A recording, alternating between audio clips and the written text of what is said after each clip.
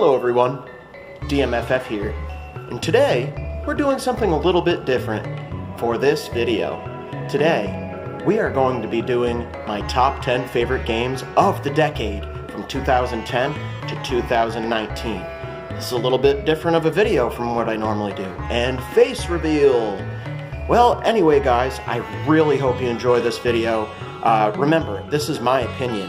This is purely my list. So, I hope you enjoy it and take it with a pinch of salt. Happy New Year. Be safe out there, guys. Number 10 League of Legends. Now, I know what you're thinking right away. Oh my god, this guy has League of Legends on his top 10 games for the decade? What's wrong with this guy? Well, it is on my top 10 and at number 10 for a few reasons. Uh, I played this game for about two thirds of the decade, honestly, and uh, played ranked and really enjoyed the game. Uh, it's, you know, your typical um, multiplayer online battle arena where you click to move and have abilities and try to overtake your opposite team's base. Five versus five or three versus three most of the time.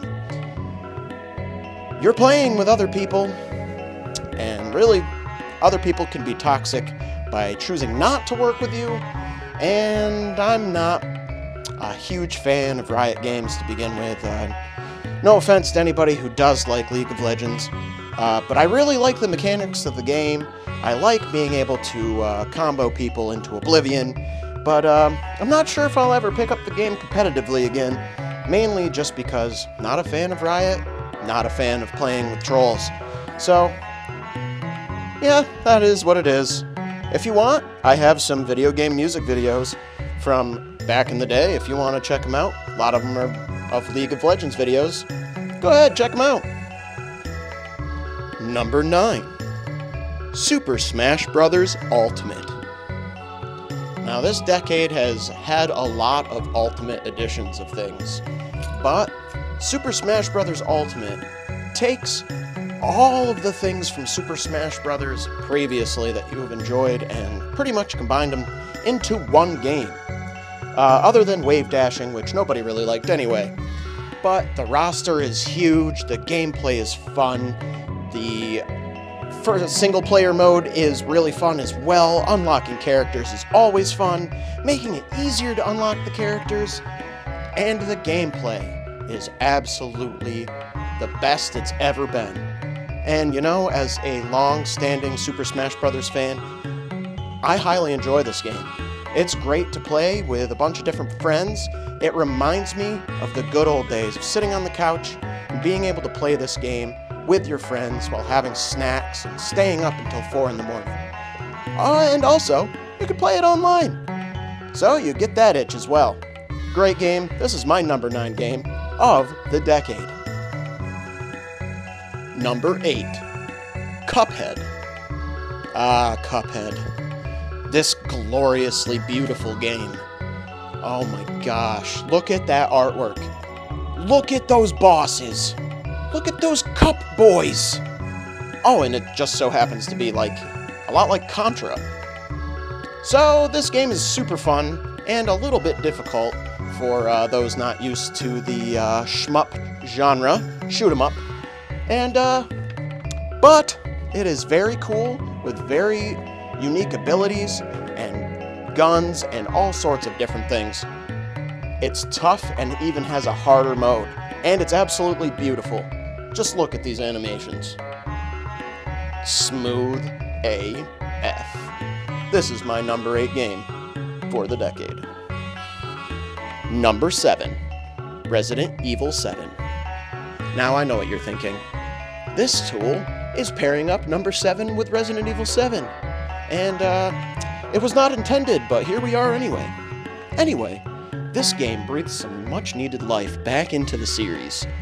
Though they do take a big risk going to first person, which I think works beautifully. You really feel like you're claustrophobic and and really tight in spaces. Plus, you actually feel like you need to utilize all of your resources properly, as they are finite. The graphics are gross and all of the things really look disgusting, and some of the boss battles in this game really are gross, and uh, I highly recommend you give it a play because it is one of the best games of this decade, and uh, it also got me back into speedrunning a little bit. I attempted to speedrun this game a little bit, and was never able to get a time that I was really happy with, but I highly recommend you give this game a play. This is my number 7 pick. Number 6 Undertale. Now I can hear a bunch of people groaning in the background. Oh my god, he likes Undertale. Yes, while it is kind of been taken over by the internet and uh, destroyed into blasphemy, the game is really great. Though it does scrutinize you for taking the murderous path. But if you were to play this game as a pacifist, you would see the best endings, and it's a really touching story that brings people together and is really lovely, honestly, with a wonderful mixture of RPG elements and bullet hell. It makes for a really fun game, and you can play through it multiple times, as one playthrough is about three to five hours, depending on how slow you go. You could even go faster than that if you really wanted to. While this game sports some really simplistic graphics, I really love them, and plus, listen to these musical scores!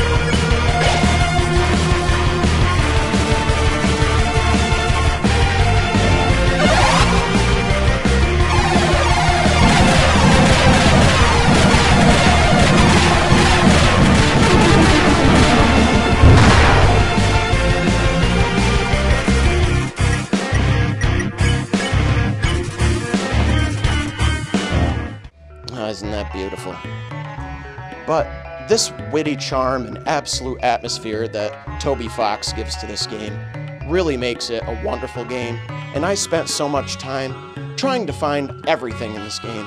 I loved it, Toby Fox. So, I have high hopes for what your next games will be. And this was my number six game. Number five Minecraft. Ah, Minecraft. Such a wonderful game. Coming out at the beginning of the decade in 2011, this massive game took off like a rocket ship and has become one of the most popular games played today. There's just something so relaxing about being able to build your own world in creative mode and just build whatever you want and have your creativity come to life. Or even play in hardcore survival with your friends and see if you could take on some of the challenges that the whole game has to offer. This game is absolutely crazy in depth. You have so many different recipes, so many different things you can build. You can program in the game with all of the things available to you. It's like a world within a world. It's beautiful. It's a work of art. It's a masterpiece, and it deserves to be called one of the best games of 2010 to 2019 of this decade. Number 5. Number 4. Super Mario Maker 1 and Super Mario Maker 2. Now, I know this is a bit of a cop out, lumping the two together, but they're such similar games that they just feel like updates from each other. But anyway, do you love Mario? I love Mario. Super Mario Brothers 1, 2, 3, and World were all of the first games that I played. I had them all as a child and I loved them very much, but I always wanted to make my own levels. Well, now you can with this game, and you can play everyone else's levels from all over the world. It's amazing. It is one of the greatest things to ever happen to Mario in my lifetime. Sure, I do love Super Mario Odyssey and Mario 64 and games like that, but Mario Maker 1 and 2 just really captured the magic that Mario is and gave it to all of us to be able to create whatever we want. There's garbage and there is masterpieces. I take them all and appreciate them all, as these games are marvelous. This is my number four games. Number three Yu Gi Oh! Duel Links. Yes, I started playing Yu Gi Oh! Duel Links this year. The game came out in late 2016 and uh, was met with great success. They are actually celebrating their 100 millionth download this year, and uh, their third anniversary coming up shortly that we will all be celebrating. I love this game. Yu Gi Oh! Light. It is basically the same thing as what old school Yu Gi Oh! used to be. Before Zexal and before Arc V and before Vrains. It was simple. We had some, we have some synchro monsters now, but this gives me the feeling of playing Yu-Gi-Oh when I was younger, a teenager. It feels great. It feels great to play this game, and I'm happy to make content for it every week. This has impacted me very well, and I, I could put it at a higher spot, or a better spot, but other games have impacted me a little bit more, honestly. Though, I do love me some Yu-Gi-Oh! Duel Links and will continue to play it. This is my number three game for the decade. Number two, Realm Royale. Jumping on that train of Battle Royale games, Realm Royale made a game that is based on fantasy, using abilities, magic, and weapons to fight people while forging at the same time. This type of game made me go nuts for it. I've tried out Fortnite, I've tried out PUBG, I've tried out Apex. But Realm Royale scratches an itch that the other games just don't have. It's a fantasy, cartoony, beautiful game that I would definitely say kind of gives me a feeling of a mixture of Halo and World of Warcraft combined into one. It's wonderful. Makes me wish one day that uh, Realm Royale could have something like an MMORPG with these same gameplay features. But I guess we'll see later on in life. I've streamed this game and played a lot of this game. Uh, I have actually declined in playing recently, mainly because of a setup issue. We just don't have the space to play it right now. But in the future, I will definitely be playing this game again. It is my favorite computer game of the past two years for sure. This is my number two, Realm Royale. Here are some honorable mentions that couldn't make the list for one reason or another. And uh, this may surprise you, but in the honorable mentions is going to be Breath of the Wild, Witcher 3, God of War, GTA 5, and Marvel Heroes. So, Breath of the Wild, Witcher 3, God of War, and GTA 5 are all games that I have not finished. So, I can't accurately say whether or not they're going to be my favorites of the decade. Though I do recognize that they are masterpieces and deserve the shout out that they are getting here. Marvel Heroes, unfortunately, was a game that's very similar to Diablo that was shut down by Disney. It makes me very sad because I really loved this game. it was my favorite game, and were it still alive today, it probably would have taken the number one spot. But unfortunately, since it has met its demise, I will say rest in peace, Marvel Heroes, and thank you for all the wonderful times that you have given me. And finally, number one The Elder Scrolls V Skyrim. Early on in the decade, in 2011, we were given The Elder Scrolls V Skyrim, a fantastic sandbox of an RPG that is absolutely beautiful. There is so much to do in this game, multiple side quests, along with a pretty driving storyline that is quite fun to listen to. And for the first time, is not a D&D dice roll based game. This game is fun. Though it is filled with bugs, most of the time they aren't game breaking. Sometimes they are. But this game is truly magnificent. Being able to play however you would like as a good citizen, as a bad citizen, with full armor, or with swords, with magic, with a bow, you can do what as you please. You could do all of them if you have the time. It's very fun.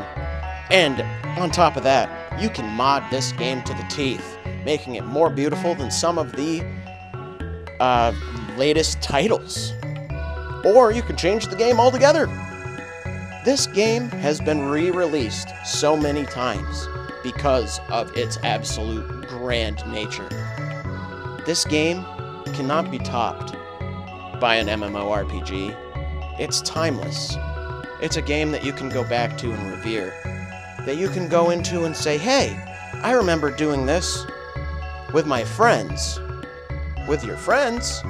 Yeah, sometimes we would all sit together on the couch, and if we couldn't get by a part, we would pass it along. Pass the controller over, all while we're having a couple of drinks. Those were some great times. And to me, it really happened at a time when uh, some of the foundations in my life and with my friends started to really happen. And it just is solidified for me that this game is truly magnificent and special, and we shouldn't take it for granted, even if it is a buggy mess sometimes. Well, guys, that was my top 10 favorite games of the decade. Did I miss any of yours? Do you not agree with my list? Throw me a comment down below, and we'll see what yours looks like. If you want to support me further, check me out over on Patreon. Link down in the description but down below. Alright guys, if you liked this video, hit that like and subscribe button. And if you disliked it, go ahead and hit that dislike button. Well, either way, have a safe new year, guys. And I really hope that you enjoy the rest of your day. See you next time.